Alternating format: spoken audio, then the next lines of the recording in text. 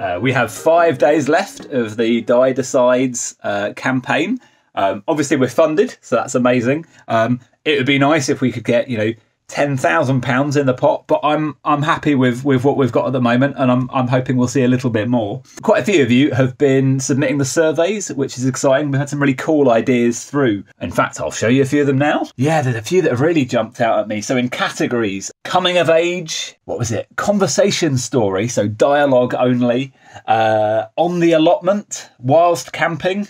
Um, uh, crime, spy, time travel there's there's a lot of uh, there's a lot of options there. People haven't put in commas in some of them either, so you could run them together. Battlefield poetry sounds pretty exciting. Um, and then down in themes, we've got betrayal, hope, and penguins. Dinner time, rivalry, cats, cliches. That sounds like a really challenging one. I'm not sure if anyone wants a thousand words of cliches.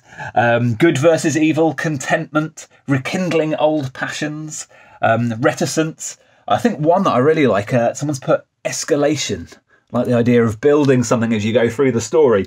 So, what I'm going to do, um, just at the end of this update, is I'm going to put together a fake list of 10 categories and 10 themes. So, I'm just going to, because uh, at the end of the campaign, you're going to get to vote on which ones we actually use. But for now, I'm just going to choose 10 of these, and then I'm going to roll some dice and I'm going to write us a story over the next couple of days so that you get to see exactly how this how this all will pan out once the campaign's finished.